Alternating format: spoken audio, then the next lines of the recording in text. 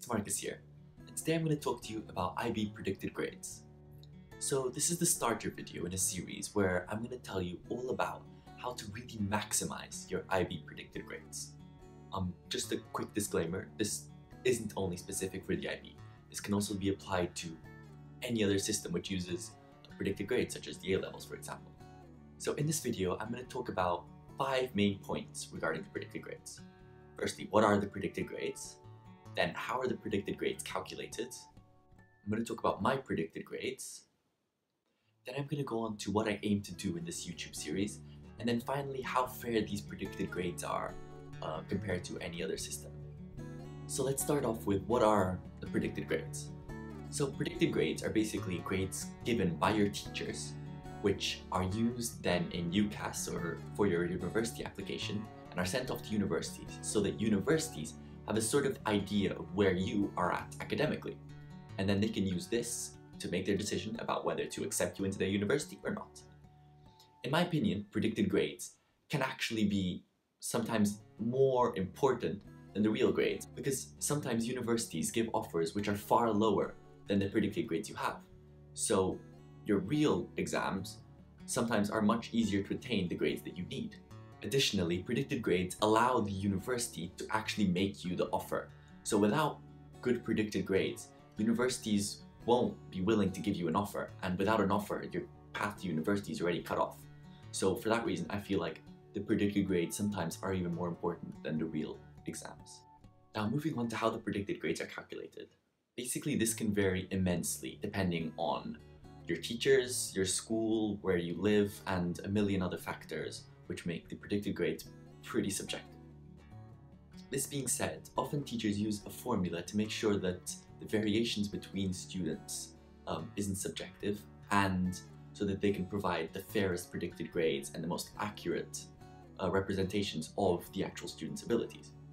So what I've seen some teachers do is they combine the tests grades throughout the whole of the first year with the final exam grade that you do at the end of your first year of the IB, which is an internal exam, which is sort of the end of year exams. And so combining these 50-50 allows the teachers to really figure out how consistent you are along the years, which is the, your average for your test grades, as well as how you perform on exams and under exam conditions. So how you perform when you have to learn everything at once, which is a more accurate representation of how the IB exams will actually go. Now, this isn't the same for all teachers, and many teachers just go on a sort of how they feel you are doing. So for example, my English teacher last year, he wasn't really sure what grade to give me. So he decided to give me a 6 based on sort of the work I had done previously, but this wasn't based on any formula or any defined statistic that I had shown. Additionally, this can vary with subjects which use um, labs, such as physics or chemistry or biology, where what I've seen, for example, my chemistry and biology teachers do, is they combine 40% of tests grades and 40% of the exam grades.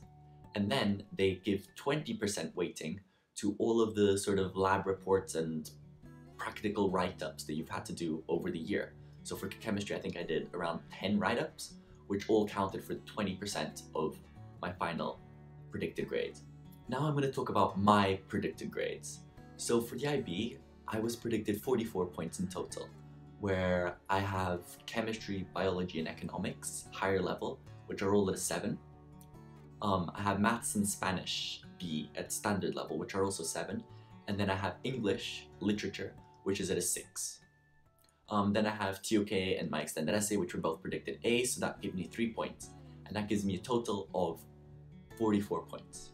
However, this wasn't always the case. So before the second year of the IB, I was doing higher maths as well, so I had 4 hires. And for higher maths, I would have been predicted a 6, meaning that I would have 43 points overall.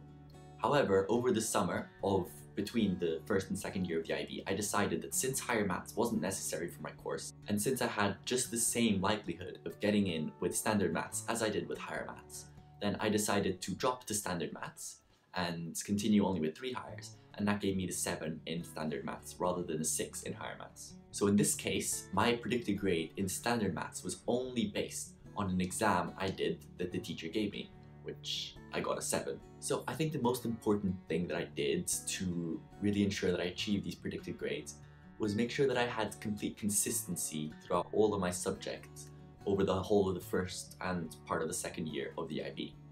And in doing this, in completely spreading my time um, equitably between the subjects, I made sure that I wasn't overperforming in some and underperforming in others so that I would really maximize my final grade. So to give you an example, I have friends who really fluctuated between grades in some subjects. So for example, they would get a really high 7 in one test and then they would get maybe a low 5 in the next test. And what this did, it didn't give the teacher confidence that they would be able to achieve that 7, for example, at the end of the year. And I have examples where they were predicted 6s, even though they were perfectly capable of achieving 7s. However, they kept fluctuating and so weren't able to achieve that predicted grade. So the basis and strategy that causes these sort of fluctuations in grade is when people say, okay, I'm going to study really hard for this test and they get a high 7. And then the next test they think, okay, I already have that high 7 um, and I have other stuff to do, so I'll focus on the other stuff and I won't study as much for this next upcoming test. And what this does is they get a much lower grade. And then when they get this much lower grade, they realize, oh, damn, I really need to study. So then they focus loads of hard work and loads of time into the following test so they can achieve a higher grade. And what this does is it puts much more pressure and stress into really achieving the highest grade for the test that you're recovering from the previous worst grade. Additionally, it could also mean that they overstudied for some of the tests, where they could have spent time doing something better, such as an assignment for another subject or something like that. And I think that that's where my strategy of keeping consistency and allowing all subjects to receive the fair amount of attention and time is where it really thrives because I can sort of make sure that I'm consistent throughout the whole of the grades so that teachers are really confident in predicting me the grades that I want. So what I aim to do with this YouTube series is to really show you how I achieve these predicted grades in each individual subject and show you the strategies and really the details you can use to really maximize your grades because the predicted grades are something that you can sort of work your way around and make sure that you have the best predicted grade for you and make sure that you can really maximize your chances of getting into the university you want. And I feel like that's what I want to share with you. I really want to show you how these predicted grades can really be put to the top of there. So for that reason, I would consider subscribing to keep you updated about the specific subjects that you may want or any specific tips that you may need. And I feel like this will really provide you with some value. So you might be asking me, what about the subjects that I haven't done?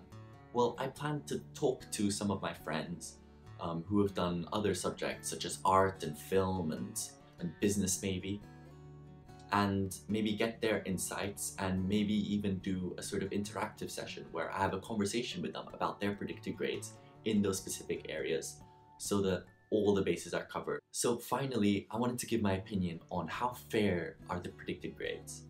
There's quite a lot of debate about whether the predicted grades are really a good way of allowing universities to decide whether they want you or not. And that's why many universities have adopted lots of different techniques such as using the BMAT or UCAT or just their own admissions exams to sort of evaluate your academic performance. This being said, the predicted grades are still highly influential in your, in your university admissions. So are they really that fair? So the predicted grades do favor a certain type of student.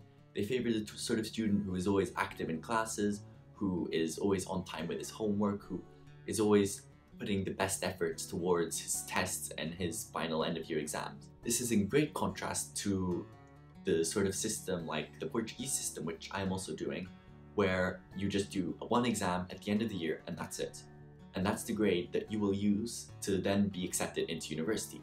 And that favors a different sort of student, the student who is really good at studying for one thing and really, really good at focusing just on one thing and the rest of the year they can just do whatever basically.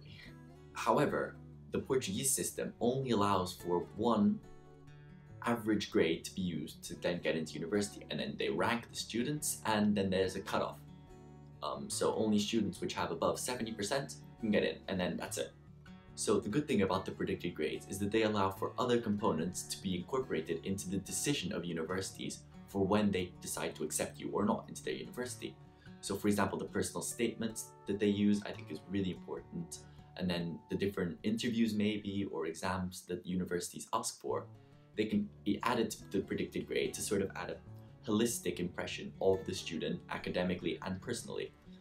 And so therefore I do feel like the predicted grade system is quite a fair system, despite there being lots of subjectivity and often quite a lot of over prediction in certain schools in certain areas.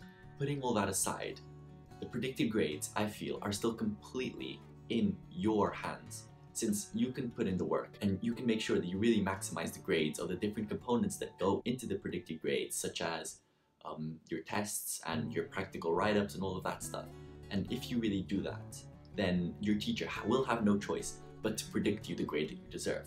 So for that reason, I would highly advise to continue following throughout this whole series and subscribing so that you really are updated with everything that comes out and the different techniques that you will need to really get the best out of your predicted grades and make sure that you get into that university that you want to get into.